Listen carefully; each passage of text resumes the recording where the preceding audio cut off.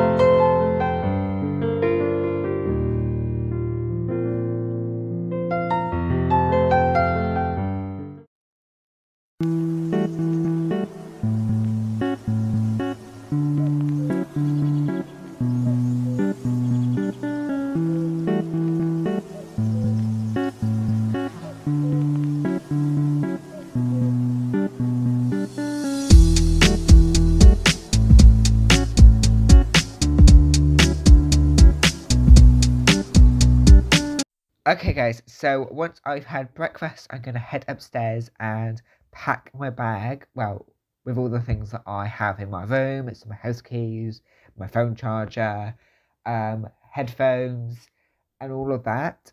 And then we are going to head into the bathroom and brush my hair and brush my teeth.